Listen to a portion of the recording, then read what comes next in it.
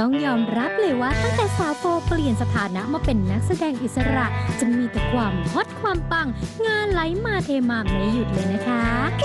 ก็ก็มีงานหลากหลายเข้ามาติดต่ออะค่ะ ก็เราก็ดูว่า ที่เรายังไม่มีโอกาสได้ทำหรือว่าอยากจะทำอะไรเงี้ยค่ะ เราก็จะแบบเฮ้ยเป็นพิธีกรเหรอชอบอะไรเงี้ยก็จะทำอะไรเงี้ยก็จะรับก็มีละครอยู่สองเรื่องตอนนี้ที่ถ่ายทำอยู่ก็ยุทธการสลัดนอกับขับไฟเดย์นะคะ แล้วก็ตอนนี้เป็นพิธีกรกับเชนธนา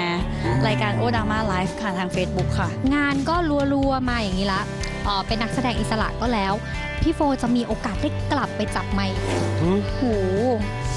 ตอนแรกๆมีมีทางค่ายเพลงติดต่อมาอยู่นะคะว่า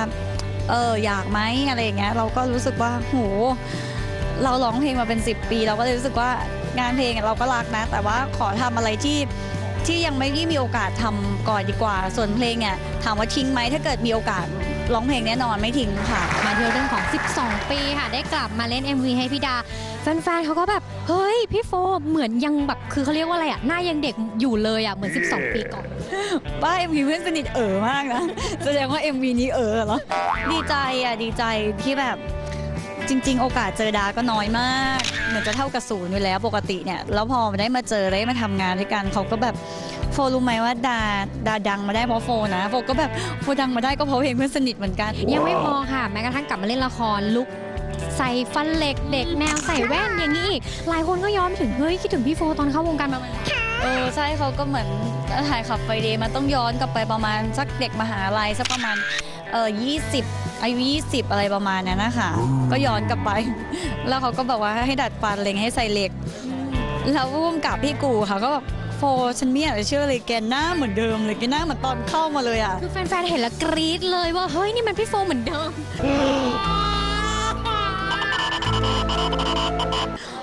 เหมือนกัน เราก็ไม่รู้แต่ว่า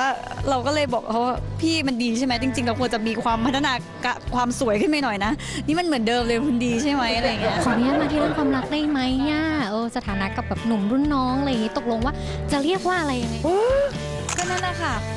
ก็มันก็เป็นได้แค่นั้นเป็นอย่างนั้นอยู่ก็คือ ไปไหนมาไหนด้วยแล้วสบายใจ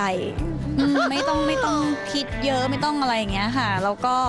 เหมือนเป็นเพื่อนเหมือนเป็นน้องเป็นอะไรได้หมดเลยอืมผมก็เห็นไงเอ้ยบางทีก็ใส่เสื้อเหมือนกันมีทำกิจกรรมร่วมกันอะไรอย่างเงี้ยเสื้อเหมือนกันมันบังเอิญมากแล้วเราใช่มันบังเอิญพอดีว่าใส่พอใส่สีชมพูออกมาอย่างเงี้ยแล้วเขาก็แบบมานัดเจอกันเขาบอกถอดเลยเปลี่ยนเลยเดี๋ยวนี้ มันก็จะแบบจะไปหาซื้อเสื้อเปลี่ยนเราก็แบบเฮ้ยเวอร์นะอะไรเงี้ยมาถ่ายรูปเล่นกันดีกว่าตลกตลกๆอะไรเงี้ยค่ะ อยู่ในสถานะของความสบายใจ ใช่ค่ะ ก็อยู่อยู่อยู่ด้วยแล้วสบายใจอืมวันนี้ขอบคุณพี่โฟมากเลยนะคะ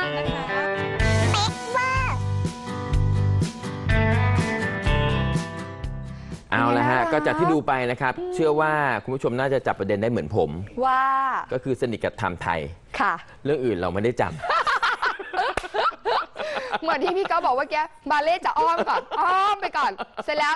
ชีวิตคู่ล่ะเออ เออมาเล่นะ อ้อมแบบอ้อมไกลมากไปเรื่อยไปเรื่อยไปเรื่อยไปเรื่อยมาจบลงไทม์ไทยเออ ดีงามบัลเล่